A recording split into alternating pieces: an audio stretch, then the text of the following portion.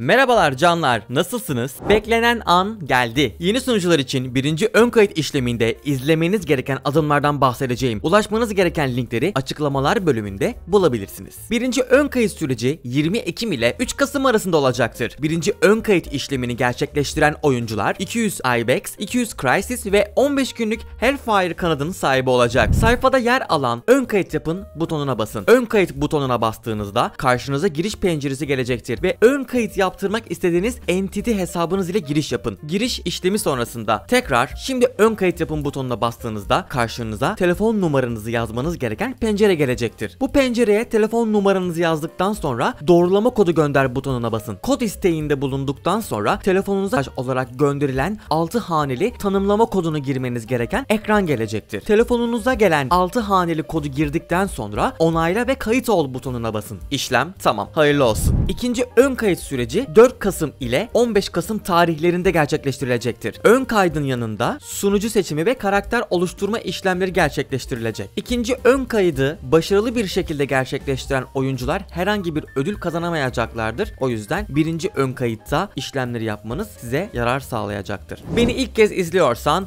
abone olup videoyu beğenirsen çok sevinirim. Böylelikle beni desteklemiş olursun. Dikkat edilmesi gereken hususlar. Eğer ön kayıt butonuna bastığınızda karşınıza giriş penceresi gelmiyor ve direkt olarak telefon numaranızı gireceğiniz ekran geliyor ise hali hazırda siteye giriş yapmış olduğunuz hesapla işlemlere devam etmelisiniz. Ön kaydını yaptırmak istediğiniz hesap ile giriş yaptığınıza emin olmalısınız. Ön kayıt yapmak için her bir telefon numarası ile sadece bir entity hesabını kullanabilirsiniz. Aynı telefon numarası ile birden fazla entity hesabı için ön kayıt yapamazsınız. Burada bir dipnot vermek istiyorum. Ön kayıtta kullandığınız telefon numarasına erişiminizin olması öneriliyor. Ön kayıt işlemini yapabilmeniz için hesabınızda ICS, OTP'nin aktif olması gerekmektedir. Yetkililerin yaptığı bir açıklama da mevcut arkadaşlar. Onlar da şöyle. Ön kayıt sürecinde çoklu hesap oluşturma kuralları geçerli olduğundan gerekli görüldüğünde ön kayıtlarınız iptal edilebilir. Kayıt sırasında sahte, sanal ya da erişim sağlanan ülke kodu dışında farklı ülke alan kodlarının kullanımı durumunda aynı şekilde ön kayıtlarınız iptal edilecek. Spam yapılması durumunda ise hesaplarınızın erişimi kapatılacaktır. Bilginiz olsun canlar. En çok sorulan soruları da derledim sizler için. Entity Game sitesinde pazar kurmak için SMS doğrulamasında kullandığım telefon numarasını değiştirmeli miyim? Hayır. Oyun içi içerikler için yaptığınız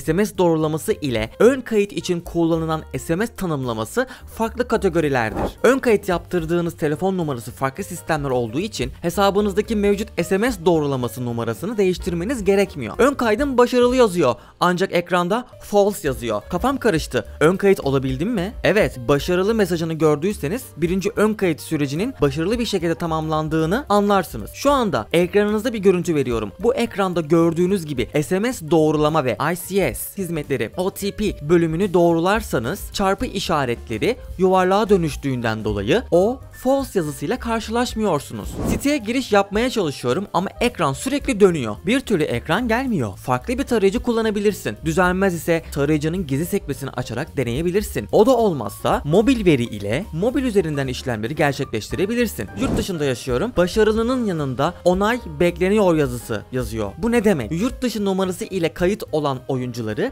GM ekibi kontrol edecek ve herhangi bir sorun yoksa birinci ön kayıt işlemlerinin onaylanacağı belirtilmiştir. Entity Mobile uygulaması nedir? Detaylar tam olarak bilinmiyor ancak sunucu seçimi bu uygulama üzerinden yapılacağı belirtildi. Detayların sonradan belirtileceği açıklandı. Videosunu yaparım merak etmeyin. Canlı yayınlarımız Twitch'te. İyi ki varsınız. Kendinize iyi bakın. Hoşçakalın.